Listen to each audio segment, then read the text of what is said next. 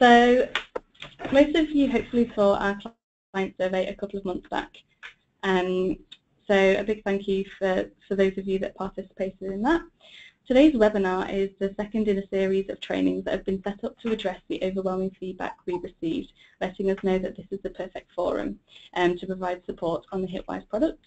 So it's also worth noting that over the next six months, we'll be rolling out more of these training webinars, support videos and guides in line with this feedback, so do watch out for these. So having a look at the agenda, this webinar has been designed to go back to basics and is a perfect intro for new users as well as clients who are looking for a bit of a refresher. We'll cover our core reporting areas which are rankings, clickstream and search intelligence. You'll basically learn how to navigate Hitwise, how to pull quick insights and how to customize your access. And I'll showcase some of the most popular reports that we have to put you on the path to becoming an expert user. So before kicking off, I just wanted to show you this slide because I feel like it nicely demonstrates where Hitwise sits um, in relation to the data collected via your site-centric tool. Your own site-centric information will give you a clear understanding of what is working internally, whereas Hitwise provides you with an external view, essentially contextualizing your performance within your online industry in order to identify threats and opportunities. So a couple of examples of the benefits of having that external view are that it can highlight um, missed opportunities, such as potential partnerships through an existing organic traffic flow between yours and their sites. Um, it can identify threats to ultimately protect your market's market share. So you might learn that a new competitor is gaining market share in your industry perhaps, and it also offers ways to grow your business online.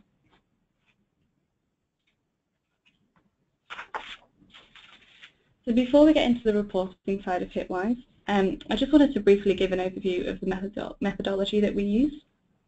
So we have a sample of a million users in Australia collected via a diverse range of user panels with full visibility of secure traffic and mobile browsing data.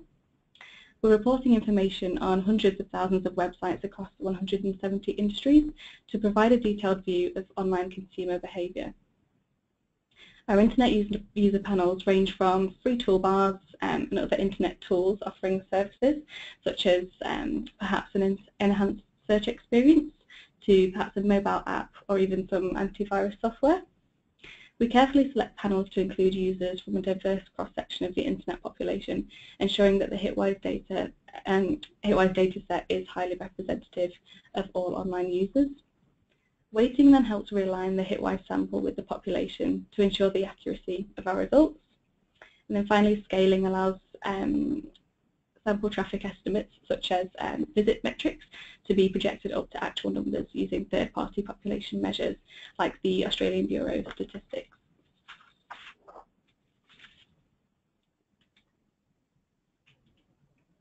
So focusing on the different modules we're looking at today, I'll firstly take you through the uses behind each of them context and also for you to understand um, how you can start to use each report. So rankings, um, it allows you to benchmark your website by visits, time spent on sites, and also page views against your industry. It allows you to evaluate a partner or affiliate's online performance, identify business development opportunities, allows you to monitor new players that are coming into your industry, and also to assess overall industry performance to ascertain if you're um, perhaps over or underperforming by comparison. So moving on to Clickstream, this is looking at the activity before and after a particular website or industry. It allows you to build a clear view of um, who the online compares you to, establish how your marketing mix differ, differs to competitors, it lets you understand which channels or websites have driven visits um, to competitors. Uh, showcase strength of interaction between your site and partner sites.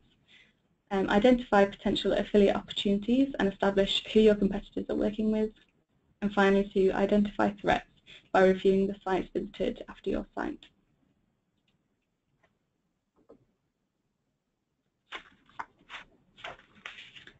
Okay, and lastly we have search, which has a wide range of reports to better inform um, kind of search strategies across the board. It allows you to benchmark your performance within the search landscape product level. The most successful so that can they new search opportunities by understanding consumer behaviour and also to plan your campaigns more effectively by establishing seasonality.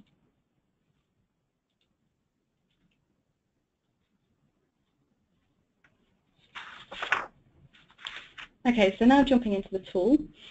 When you first log into Hitwise, um, you'll be taken through to the homepage that looks um, a little bit like this, and then the first and most arguably um, probably the most useful tool in, um, in there is called the Profiler. So here you just need to enter a website or select an industry. Up here and click the profile button. And in this example, we're going to look at skyscanner.com. So the profile can be a real, real lifesaver when you need insights in a hurry. So it's a really great report to have on your radar. So the page displayed um, after you've hit profile features a selection of modules covering things like benchmarking, audience segmentation, and search marketing, and basically a high-level view of everything that's available in the platform. So here, for example, we've got a really nice overview of the average um, time spent on Skyscanner versus their industry, a device-level split um, of traffic going to Skyscanner, and some of the top-level paid and organic search activity.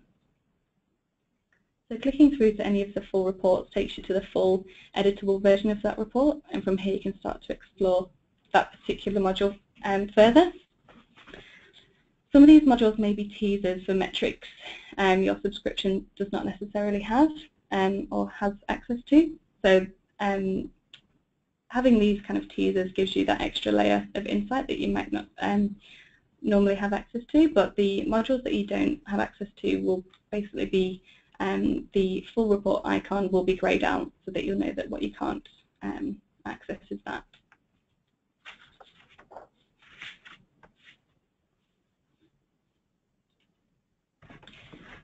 Okay, so next we'll move on to customization.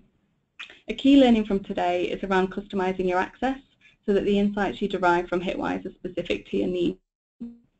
Clicking on the Custom List tab in the toolbar takes you to the Custom Industries tab. So clicking up here and to the Custom Industries section down here. As well as benchmarking your online performance against one of our standard Hitwise industries, we offer the ability to kind of cherry pick a selection of websites and create a custom industry that you can just report on. So from here you just need to create the custom industry. So you just need to give it a name and then click create. So for this example, we'll call it training webinar and click create. So from here you can just add in the website URLs manually or you can upload a CSV um, of a group of um, a group of websites, which will save you quite a lot of time. So if we enter a website up here and click Add,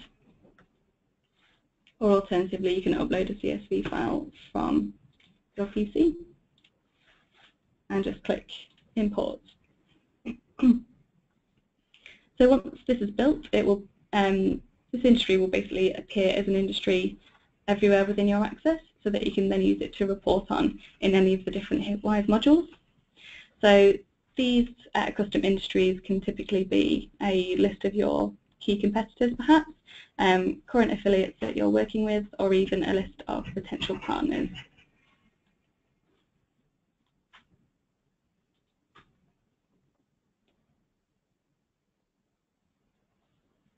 So if your specialism is search, then you'll want to utilise the search term portfolios um, component of the list manager. Uploading the terms you're focusing on for search campaigns from AdWords will basically allow you to establish how you're performing versus your competitors for these terms. So portfolios are also useful to find link building opportunities and establishing search seasonality and demand. Additionally, using a search term portfolio of your brand will allow you to see if any competitors are actually bidding on your brand. So later in the webinar we'll touch on how best to utilise these, but for now I'll just show you how to build them. So you need to navigate to the search term portfolio section of the list manager.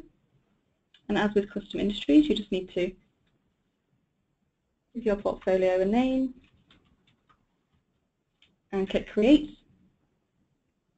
And you can either manually enter the terms into the search bar up here, which is, I always find a little bit of a manual process, especially if you have kind of up to hundreds of terms in a campaign, and so you can upload a CSV file format as well.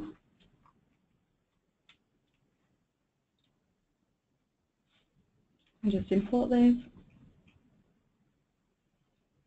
And you will see that there's a little clock um, icon on all of these terms and I'm not actually on the portfolio. This basically means that the portfolio is still loading. Um, these typically take about an hour to load, so once that clock phase has disappeared, that means that you're good to kind of report on this portfolio um, from the report panel.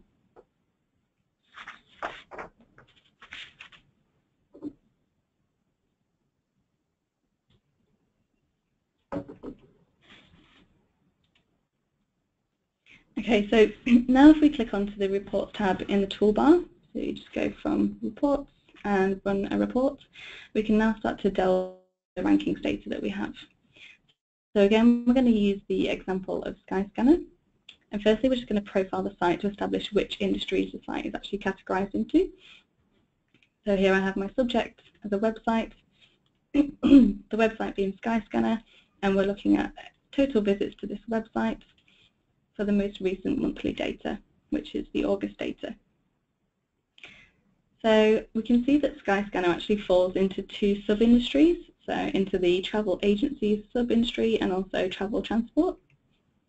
It falls into the travel parent industry, and obviously it also falls into all industries, um, where it is ranking at number 255 of, of all websites within all industries.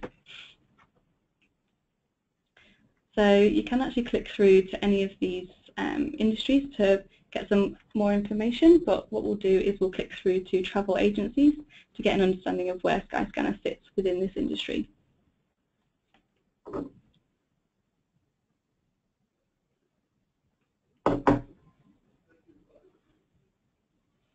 So as before, you can choose the type of rankings report that you wish to run, so you can kind of um, make any amendments that you need to the reporting period and also the end date because we have access to historical data down here. But what I really want to um, point out is the daily data that we have in the platform allows you to really easily assess the impact of a campaign that's having on visits quite immediately. Um, and this is really, really handy for key sale periods within perhaps the travel industry or the retail industry. So looking at the results, we can see that Skyscanner sits is in um, fourth place behind wotif.com and they have a 7.77% visit share, market share for the month of August and we can also see the total visit numbers as well. The Skyscanner has had um, just under 3.2 million visits um, to the site within the month of August. So you'll also notice that there are quite a number of call to actions buttons um, in these reports. So all of these call to actions are applicable across all of the report types that we have up here, but I'll just kind of demonstrate them for you in the rankings version. So firstly, export. This basically allows you to extract the data into a CSV file format. So you can either select all of the data within here, or perhaps just select um, a certain number of websites that you want the information on. So once you've that. This gives you the ability to um, kind of overlay this information with other data sources that you might have.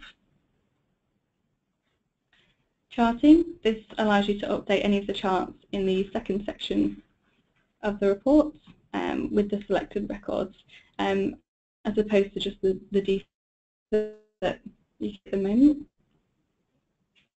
So for example, if I wanted to look at the top five performing websites, I can update the chart and we'll see those four, uh, sorry, those five competitors chart against each other. You can just make this a little bit larger. and basically these charts are here to show shifting trends amongst competitors and across industries overall. So this first chart is looking at market share and also total visits of selected websites. So you could just change the metric up here to total visits um, if you want to have that view. Um, or again, if you want to look at market share, you can do. It's all just very dependent on what metrics you prefer to use um, or require internally. So then the second graph, this is looking at the share um, an industry makes up of all visits online and also total visits as well. So the combination of total visits for the whole for that whole industry. this report in particular is pretty vital for giving you that competitive context. So if you're seeing perhaps visits to your site decreasing or not at the level that you'd expect necessarily, this report will be able to determine whether that's perhaps consistent across the industry um, or whether it's just specific to your site. So another call to action is the Add to Dashboard feature. This basically allows you to add the selected report to a dashboard, which will then automatically update and can be shared as a link um, to users who may not necessarily have a Hitwise license, which I think is a really, really um, useful feature of the tool. So if you just click Add to Dashboard, you can either um, add the module to a new dashboard by giving it a name and clicking Create, or you can add it to an existing dashboard, which I have here, and I'll just take you through to that view to, to show you how the dashboards look.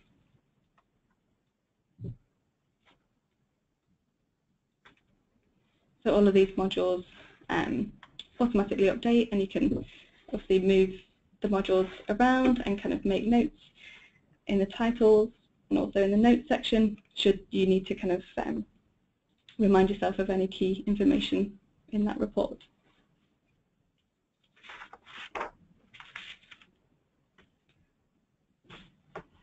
And then the final call to action is the add to custom list functionality.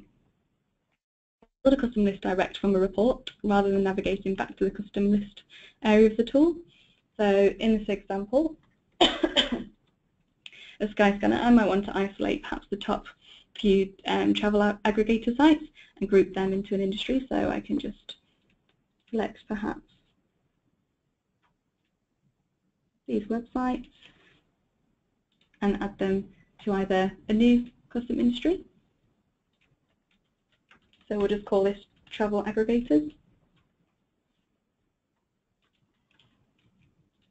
And create command, or you can add them to an existing industry down here.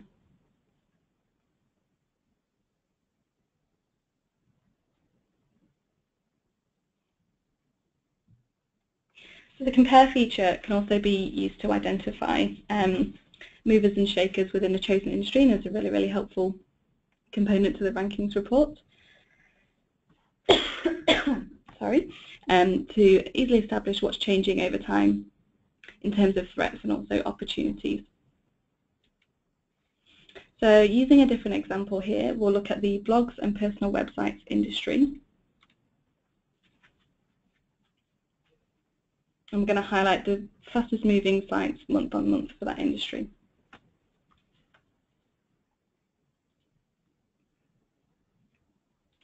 So if we just compare that to last month and click generate.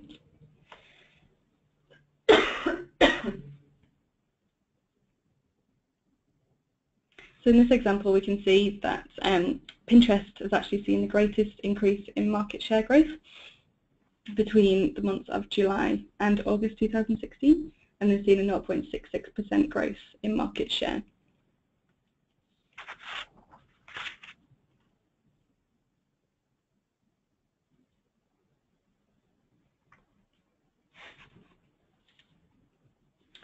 Okay, so the next report I'll take you through is Clickstream. Sorry about that.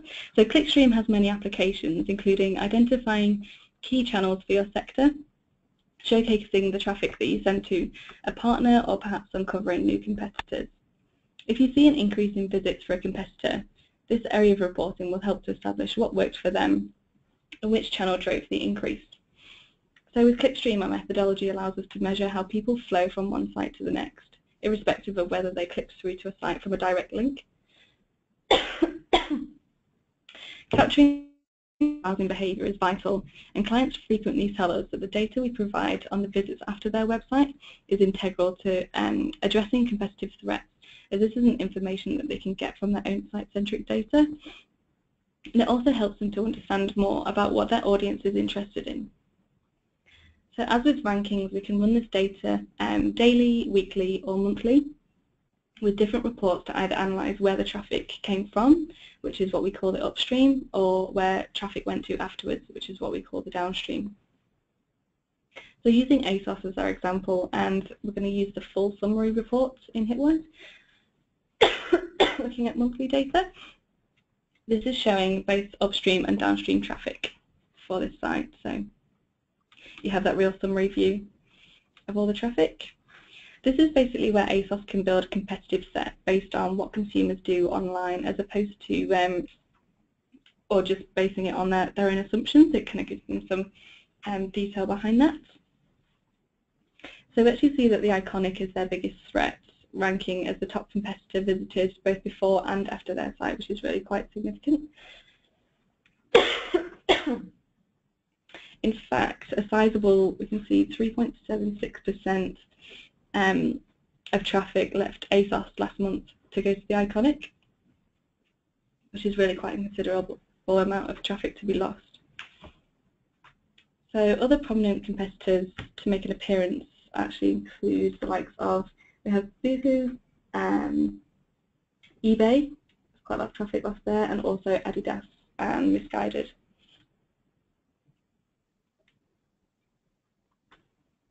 So if we actually click through to the full reports of upstream industries, um, we can see who has visited, where people have gone before visiting ASOS, and we can actually do a direct comparison to the iconic. Apologies about the cough.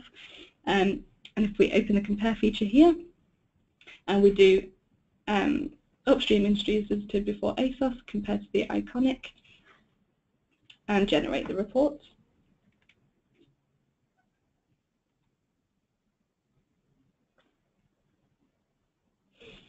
So this is basically going to help us establish um, how reliant these websites are on particular channels and where they differ as well.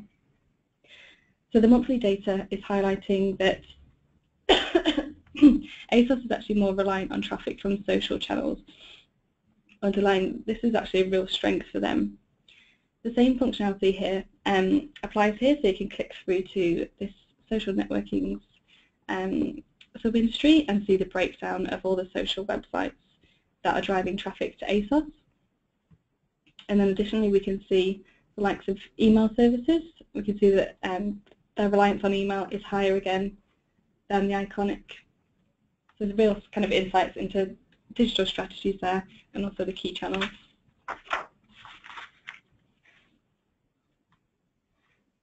So from here we can flip this to look at the traffic that we see kind of leaving an industry as opposed to the um, traffic coming from an industry.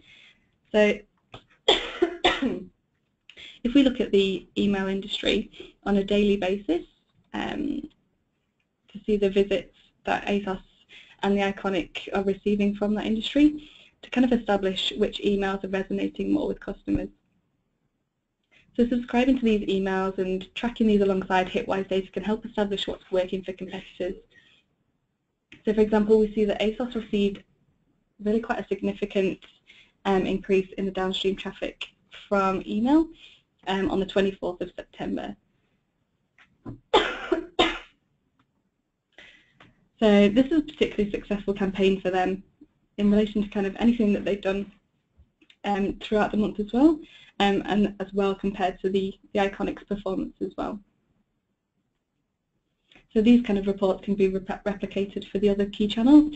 So perhaps you might look at um, the downstream websites filtered by the websites that you want to look at for perhaps social or even news and media providers that you work closely with.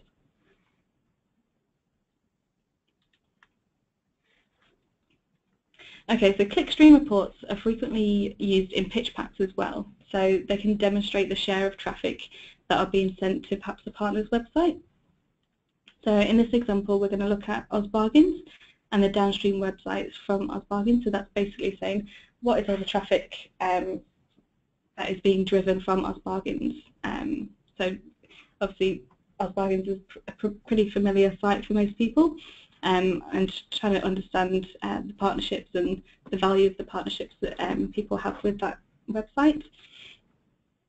So the downstream websites we see, um, you're looking at Masters Home Improvements, for example, they're receiving a 1.59% of the traffic that's coming from Bargains. So this is a pretty compelling insight for them to go to Masters and say, this is the strength of our partnership. Um, and then also looking further down, we see the likes of Harvey Norman and perhaps JB Hi-Fi, and they might look at this information and say that they're actually not receiving as big a piece of the pie as they might initially have thought they would have. So can these brands use this information um, in, negoti in negotiations that they have with OzBargains um, just to kind of re-evaluate the strengths of their partnership?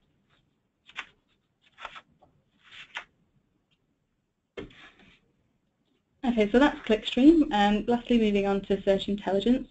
This is probably the most multifaceted module in the platform. There's quite a lot to see here. So one of the best reports to run in search is a website search share report because this is um, basically allowing you to benchmark your performance for search within your industry. In this example, we'll look at um, the Hitwise insurance industry, but remember you can kind of change this out to a custom industry if you want to just look at uh, those top five or top six competitors that you're interested in. So running the website search share report over the past four weeks, we see that out of 334 sites that have been returned, iSelect actually has the greatest share of search clicks um, with a 7.2% search share. And they also have a paid rate of 7.78%. So having a look kind of through all of the competitors, we see that the industry probably has around an average of a 50% paid rate across the board. but I suppose to understand how paid strategy changes for a competitor over time, you can utilise the charting, um, which is the same as rankings. You can just populate down at the bottom here um, to understand um, how their kind of paid strategy is changing over time. And it also is going to allow you to kind of plan your PPC budgets accordingly. So I've just kind of selected the top five competitors um, or top five websites from here and updated the chart. And we can see that there's been some movement over the past kind of 52 weeks in terms of search share. But with iSelect, I suppose, moving away from the other competitors um, around the June-July time, very significant time, in the financial calendar, um, and you can also change these metrics out to look at um, perhaps just a paid rate or just the organic rate as well to see how people's paid strategy is changing over time.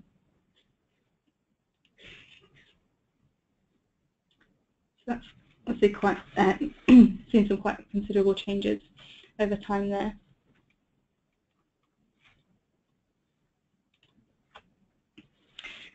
So to get a more granular view of what a competitor is doing in terms of their search strategy um, at a real, I suppose, granular level, we can profile searches at a website level. And in this example, we're going to use Bupa. So what I've done is selected the website as my subject. Um, we're looking at Bupa and we're looking at search terms. and we're also looking at search clicks over the past four weeks. So over the past month, we have actually seen um, 1,394 unique terms drive traffic to Bupa's website. So with the likes of um, Bupa Travel Insurance being the top product referenced here, and then also health insurance being the top generic search term there.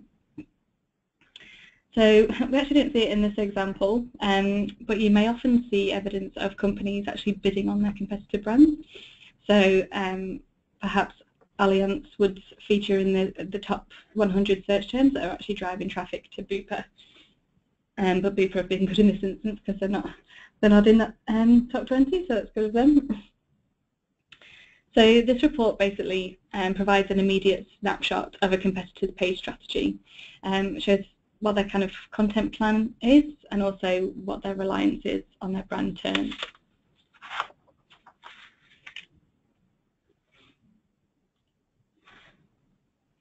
Okay, so next we'll look at search term variations to establish how consumers are searching right now.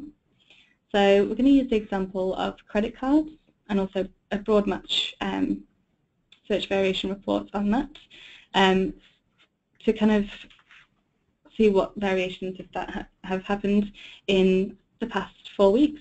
So when, and we're just looking at searches here. Go back to the start.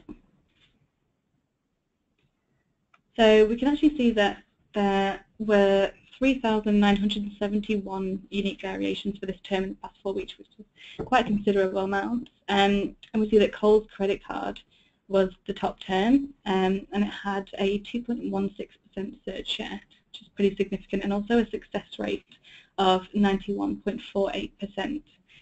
So this um, success rate is basically the percentage of these searches that result, um, resulted in a successful click um, to a website. So we're capturing all terms searched for and not just those that were deemed successful with a click. So if you wanted to create a portfolio of terms based on this Hitwise data, you can do that quite easily from here as well. Um, yeah, just a, as well as the kind of custom list component that we, we talked through earlier. Um, and what you can do is select all the terms that you want to group together. So we might perhaps um, want to look at the top, group together the top 400 search terms, and we can create the port portfolio from here. So we can either add the selection to a new portfolio or add them to an, exist an existing one down here.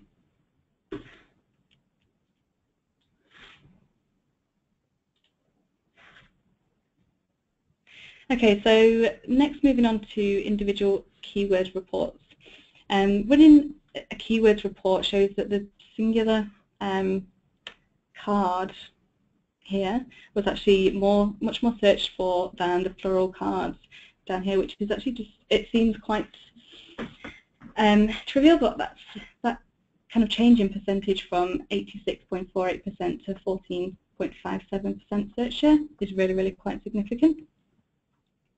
Um, and then we look at kind of other terms that are popular. So we see that Australia and best are some of the top generic search terms associated with these searches.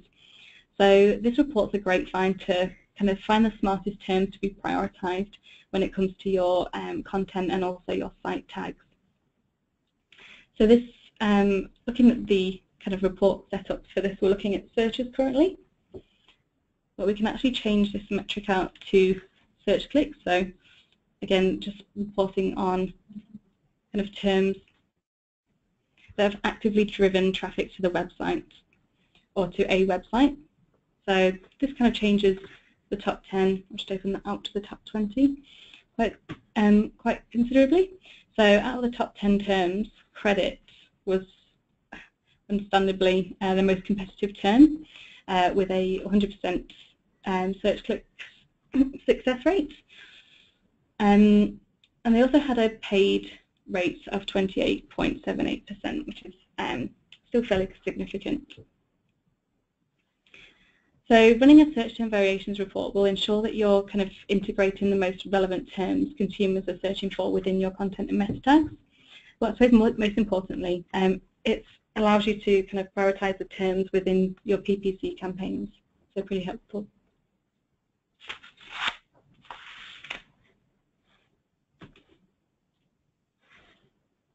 Okay, so what about the competitive view? Um, looking at one of the generic search terms, which was credit card compare, um, this is going to start to give us a bit more of a the external view that we were talking about earlier. So um, looking at this search term, looking at credit card compare as a search term and the downstream websites from there. Um, and in the past four weeks again, we see that Credit Card Compare was the website that actually received the most traffic with a 51% um, share of the search clicks. And then that was closely, well, not as closely followed, but followed by Credit Card Finder with a 34.87% share of the search clicks as well.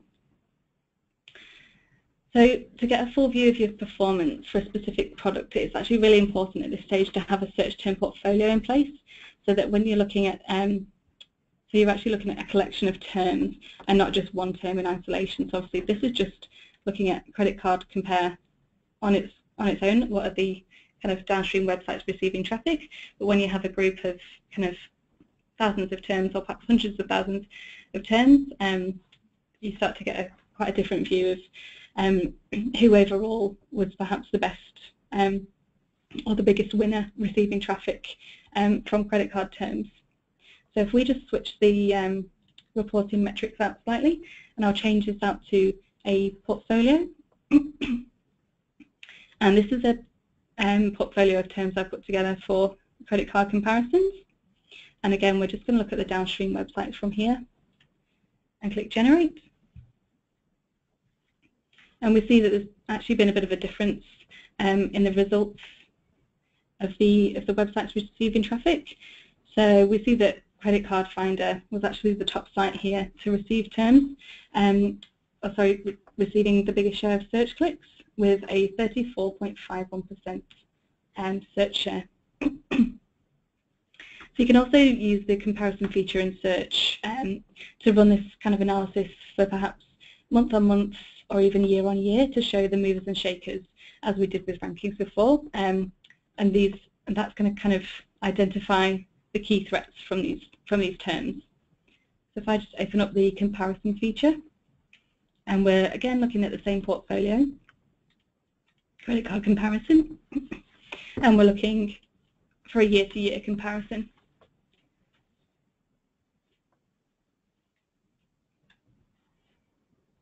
So we actually see that Credit Card Compare has seen a 12% increase in search clicks percentage from terms in this portfolio year on year, which is really quite a significant increase. Um, downstream from a portfolio of data, it can be, I suppose, used to demonstrate your success for a particular product area and also to encourage people to work with you.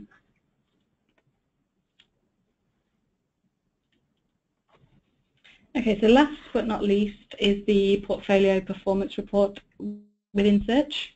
Um, I suppose building out different portfolios across different products or services is going to help you to plan your campaigns more effectively. So this is a slightly less intuitive um, way of running a report compared to some of the others, so bear with me, but once you get to grips with this functionality, this is going to be a really, really useful report for you. So to run the report, you actually need to go to search engines as the subject. We want to look at all search engines, and then the report type is going to be a portfolio performance report. And once you generate that report, that is going to bring up all of the portfolios within your access so that you can then chart those portfolios over time to start to look into the, the seasonality of those terms. So looking at um, Mother's Day as an example here, we can basically break out um, the different portfolios into things like overall Mother's Day search terms. It could be all the Mother's Day card related terms or perhaps Mother's Day gift ideas or presents. Um, so that's going to give you kind of um, quite a, a different view of when, when these terms were starting to peak So if we just chart those three portfolios over time, we're going to look at a 52-week view, you can start to see the Mother's Day terms kind of start, started to pick up kind of as early as January, but it really kind of pinpoints what was that kind of significant week that was um, the activity just kind of grew exponentially and, and search demand grew um, so that people can, I suppose, capitalise on that time of year. So yeah, it's when it's looking at when did campaigns peak this year in order to plan ahead um, and plan successfully for the next year. So you can use them to gauge kind of overall search demand and prioritise key products. So for example, say in summer, um, for retailers, is it perhaps dresses or shorts are more popular this year? And then you can feed this information on into, into merchandising teams um, and campaign teams. So there is, of course, lots more to see across the board in these reports, that we haven't actually touched on today. So these include um, lifestyle reporting, which tells you who your audience is online. It actually uses um, Experian's offline segmentation classification, which is called Mosaic. Um, we also um, haven't covered off demographics, demographics, which showcases the visits by age, gender and states, and also device data, which highlights the mobile desktop split for websites and industries, all extremely valuable for developing um, your online strategies. So again, we'll be running webinars on these areas in the near future. If you do ever get stuck using the tool, you can navigate to the training link at the bottom of the page, which is down here. Um, and that takes you to a page um, full of all of our resources that includes kind of um, training, um, how-to guides and video guides. Um, you can also refer to the methodology FAQ section. And if you can't find the information that you need in the platform, then you can always access our contact details um, from the con Contact Us tab down here, and that's got our email address, so you can send us over an email, and, and we'll get back to you as soon as we can.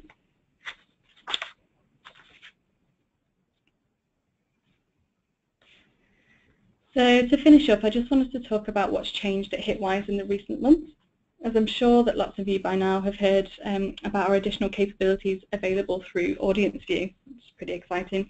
Again, something that came out quite strongly in our client survey was that clients are interested to know more about this platform. So I suppose, what, what is Audience View?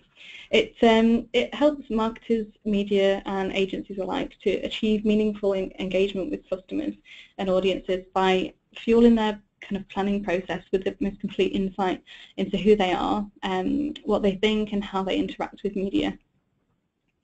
So the tool actually allows you to find, identify and quantify the size of your audience, allows you to maximize efficiency by targeting the right audience segments, learn about what content interests your um, target consumer audiences, profile the lifestyles, interests and behaviours of audiences for more meaningful engagement and also to support driven decisions.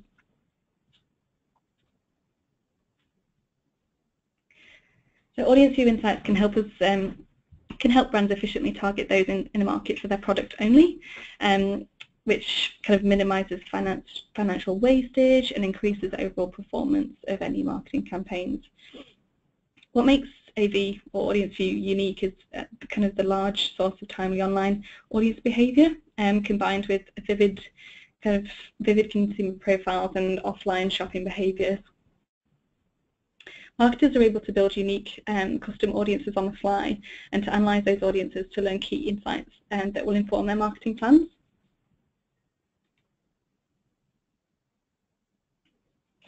So just a couple of the questions that marketers can kind of look to answer with Audience View. Um, what's the audience overlap of customers to visit my site and my competitor's site as well? What's the unique audience that visits my site only? Um, what content is my audience most likely to engage with so I can create more meaningful messaging? And who are the audience that converts on my website and where can um, I find more of them? It's probably the most important question that we can answer. And then finally, this is an example of the insights and, take, and insights and takeaways that can be found by building an audience in AV. So this audience is people that have visited the Apple website and are um, a Mosaic Group I, which is books and boots. So these are typically um, kind of your students and also early adopters of technology. So suppose this demonstrates how you can tailor make your audience based on particular parameters you could also perhaps build a segment based on search behavior, for example, grouping people together that have searched for an iPhone or an Apple product in the last four weeks. what we see is this audience more likely to be um, in the 25 to 34 age bracket, more likely to be male, and more likely to be found on music and poker sites. So interestingly, what can be taken away here is that whilst Apple is a huge brand that would typically take um, perhaps a mass market approach um, with an, a new iPhone release because I'm sure they think that every man and his dog should have a uh, have an iPhone. Um, that this audience is actually less likely to be found um, than the online population to visit the traditional news and media sites, so for example, The Age um, and the Sydney Morning Herald. So their marketing dollars uh, would be spent perhaps more efficiently by advertising with the news sites that they're more likely to reach their audience on. So the key difference between Hitwise and AV is that Audience View has been designed to be audience-centric insight versus the traditional site-centric in order to understand the user behind the behaviour and the ability to size that audience. So over the years, clients have let us know that they'd love to see um, kind of numbers applied to our search data, and Audience View allows us to do this. So that concludes the webinar for today. I really hope you found it useful. Um, if you do have any questions off the back, then please do get in touch via our support email address, and that is support.au at hitwise.com. Thanks, and enjoy the rest of your day.